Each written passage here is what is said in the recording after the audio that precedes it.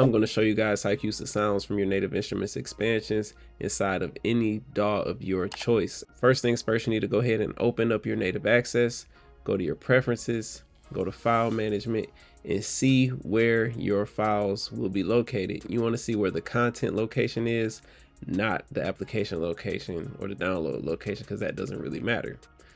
So from there, what you want to do is go to that location. So I'm going to pull mine up. Okay, so right now I'm in my Native Instruments folder. And what you want to do from this point is go to your expansion. For example, Burl Chops is one of the latest expansions.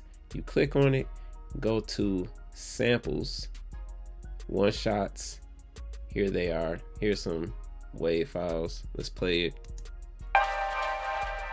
This is where all of your stuff is. So if you are using Logic, you can set this location inside of Logic as a favorite, which is what I did. I have my Native Instruments folder bookmarked so that way when I'm looking to add files, I just go to my Native Instruments folder, bam, all the expansions are there. I can go through, listen to all of these kicks and drag them, do whatever I want to do with them. Same thing goes for FL Studio. You can go through, drag and drop, drop the folder in there, or if you want to go through the process of setting it up in their uh, file structure. I haven't done that in years, but if you want to do that, you can go ahead and do that. So that way, when it opens up FL Studio, this would be there. I think dragging and dropping works as well. You just take this folder, drag and drop it. So that is quickly how you find your sounds from your expansions and use them other DAWs. I'm um, those are the ones that I use. I'm pretty sure it'll be similar with other DAWs such as Serato Studio, things of that nature.